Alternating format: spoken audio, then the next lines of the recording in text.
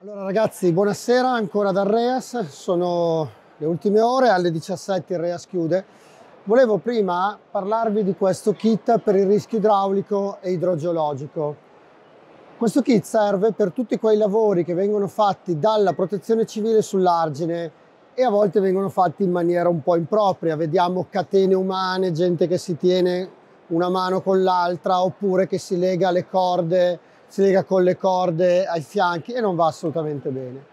Quando bisogna andare sull'argine a stendere teloni, mettere le pompe, fare disgaggi, sistemare qualcosa, bisogna lavorare in sicurezza e con un sistema anticaduta. In questo caso abbiamo una linea vita temporanea che può essere posizionata tra due mezzi, può essere posizionata uh, tra due corpi morti, possono essere utilizzati eh, picchetti appositi e piantati in un certo modo.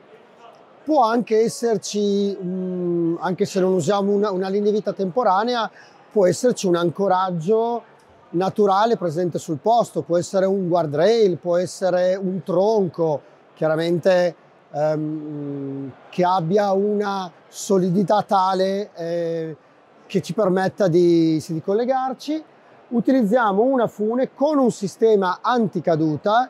Questo sistema scorre sulla fune in modo tale che ci possa seguire e che lo, lo recuperiamo quando, quando, eh, risaliamo in caso di, di caduta si blocca una fettuccia semplicemente per allontanare dal corpo e, e farci lavorare in, uh, in maniera più comoda poi qui abbiamo un'anticaduta preferibilmente ancoraggio sternale perché a volte qualcuno utilizza l'ancoraggio dorsale però si lavora in maniera scomoda e bisogna essere comandati da un'altra persona a, a, monte, invece in questo modo riusciamo a progredire aut autonomamente ed è comunque sempre bene avere un giubbetto salvagente per, per completare il kit. Naturalmente eh, casco e scarpe antinfortunistica sempre in, indossate.